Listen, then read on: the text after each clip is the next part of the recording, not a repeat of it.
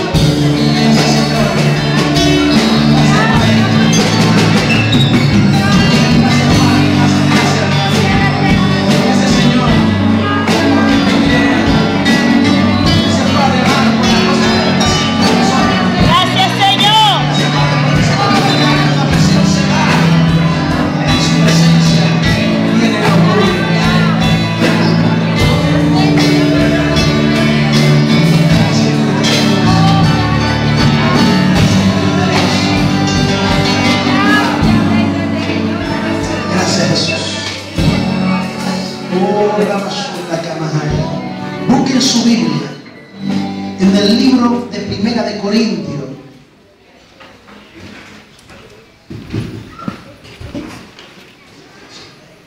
En Primera de Corintios. Aleluya. 2. 9.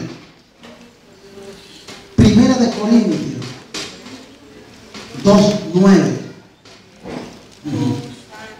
Alabado sea el Señor.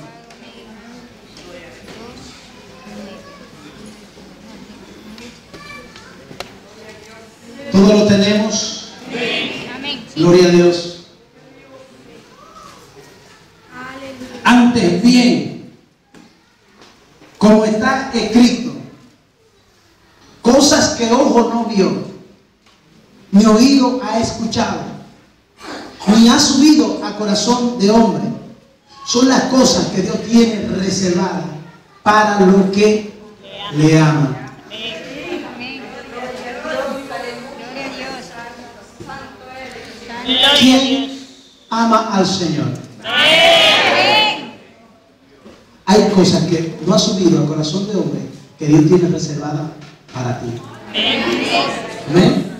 Vamos a entrar en esta navegación bastante profunda y tome su asiento. Amén. Oh, mi alma adora al Señor.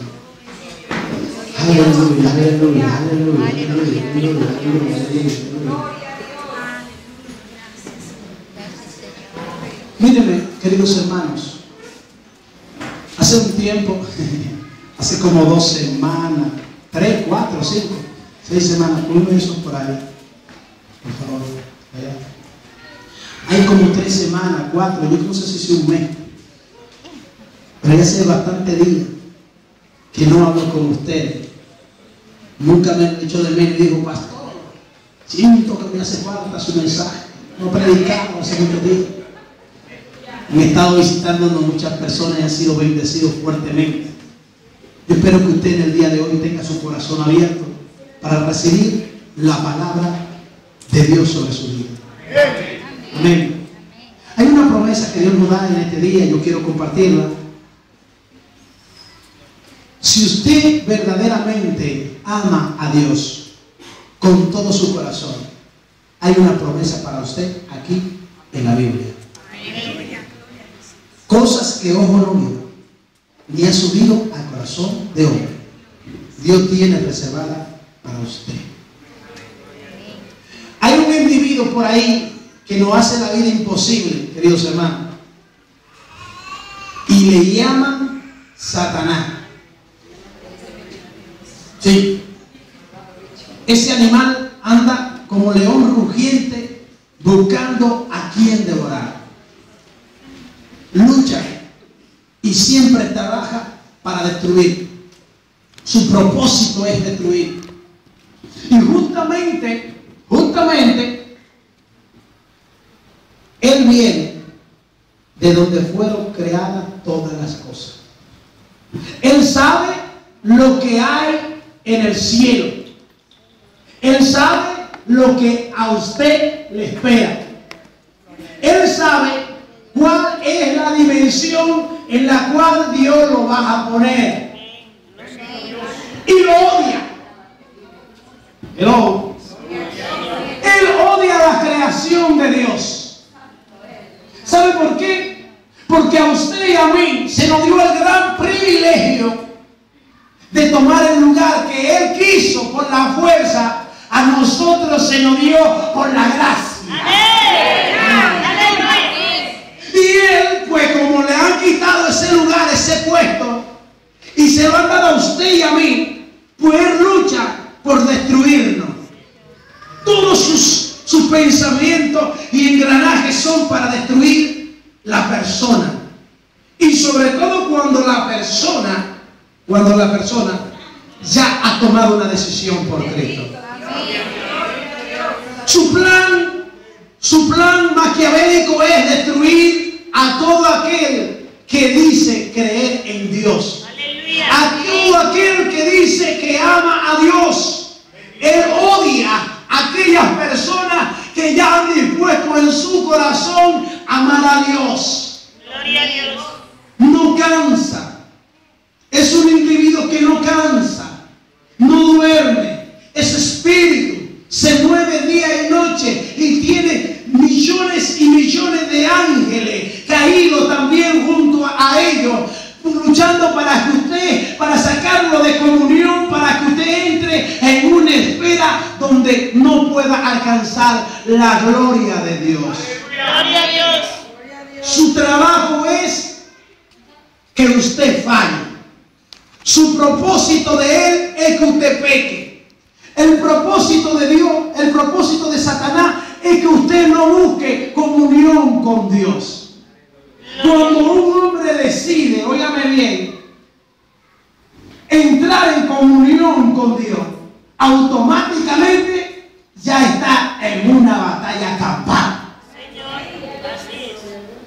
Pero hay muchas personas que ahora mismo me estarán escuchando y le dará miedo este tipo de, de conversación. Es decir, que si me convierto voy a entrar en guerra. Es decir, que si no me convierto no voy a estar en guerra. Tú decides si quieres entrar en guerra o mantenerte en el lugar donde te encuentras.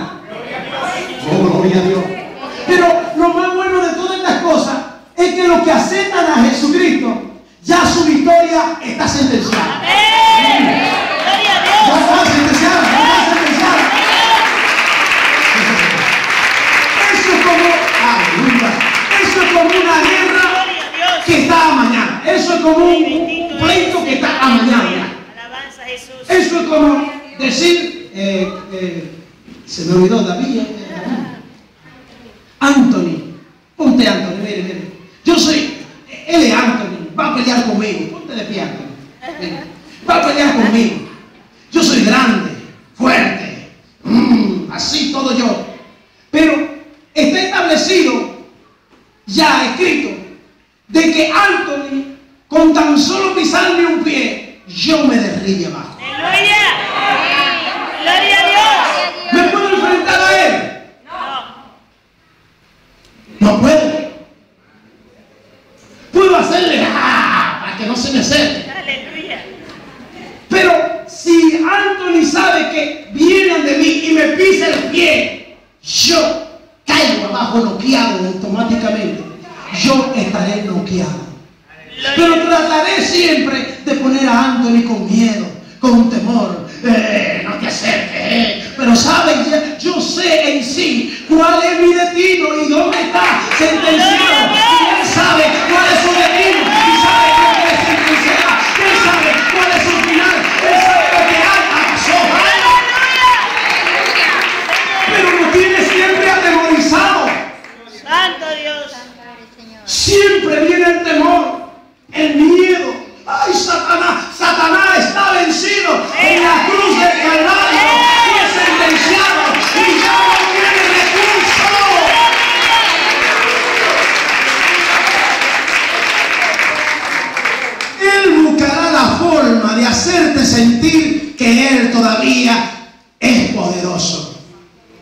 Y el poder de Él está limitado. ¡Gloria a Dios! ¿Alguien me escuchó? El poder de nuestro adversario está limitado. No puede hacer lo que Él quiere. Gloria a Dios. Porque ya se le pusieron las normas.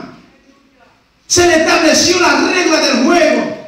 Pero pastores entonces, ¿por qué Satanás destruye a personas? Porque ceden las normas. Si usted entra en la área de él, él puede destruirlo. Pero aún usted está allá en su área, usted clama la sangre del cordero y tiene que soltarlo automáticamente.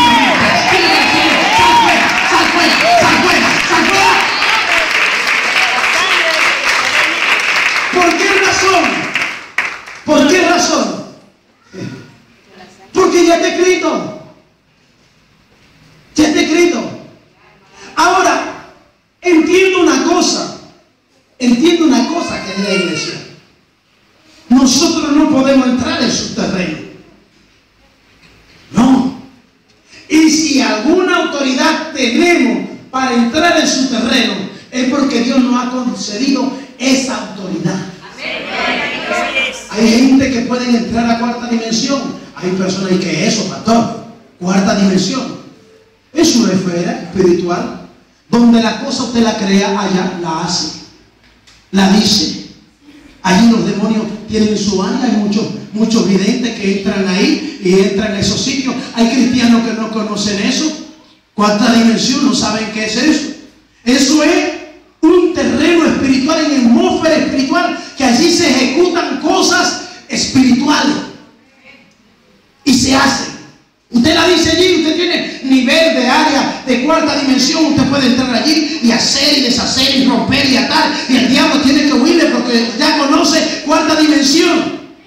Pero para ser un creyente espiritual o lleno de la presencia de Dios, usted no tiene que andar en cuarta dimensión. ¿Sabe por qué? Porque el que se mete a cuarta dimensión tiene que mantenerse en ese nivel de cuarta dimensión. Porque en el momento se saca de cuarta dimensión y no entre al mismo nivel, el enemigo va a querer hacerle triste, hermano. Pero si usted conoce a dónde está su poder y dónde está su milicia, usted puede clamar a la sangre de Jesús para que lo liberte y lo fortalezca. Estoy metiéndome en una área donde usted casi no me está. Pero quiero decirle que el poder de Satanás es limitado. Es limitado. No puede hacer nada con los hijos de Dios. Y tampoco puede hacer nada con aquel hombre que aún esté muerto en el pecado y decide convertirse a Cristo. Tampoco puede hacer nada. Gloria a Dios. Así es. Porque está establecido, querido hermano. Está establecido. Pero vamos a entrar en la materia de hoy. Que es cosas que ojo no vio. Recordamos la historia de. Daniel hubo un momento que hizo una petición directamente a Dios.